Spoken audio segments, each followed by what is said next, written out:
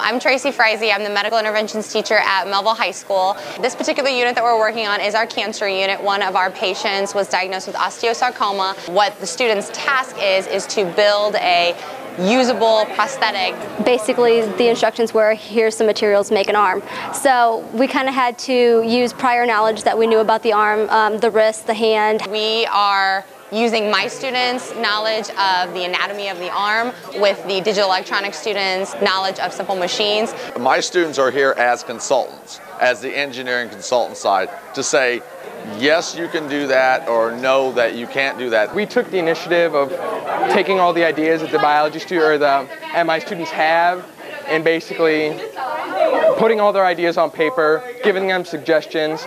They had the general ideas of like the mechanics and everything of it, and we knew more about the anatomy and stuff about the arm, and that in collaboration kind of came up with our final product.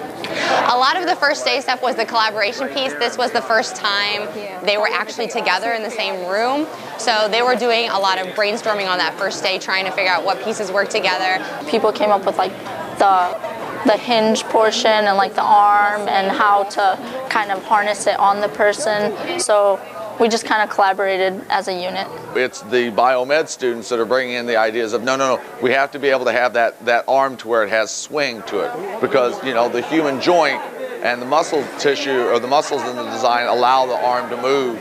Um, it was really fun to see what uh, different different things that we had in mind for it, like what, what different uh, choices people made, like how they bend the arm and how they make it move around and pick up the cup. Like a whole lot of different hand designs, and I had a lot of fun doing it.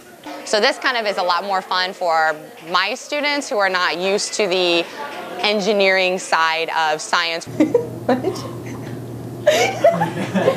it down. Put it down, put it down, put it down. Chill.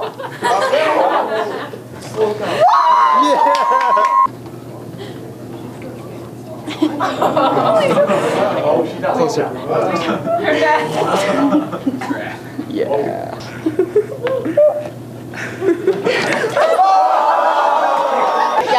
Silence, please. Silence. She got it. Turn. Yes.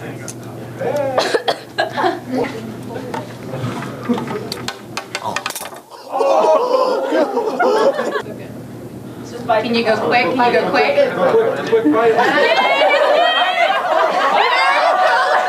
what they're going to go away with or take away from this whole project is A, first of all, is the collaborative point.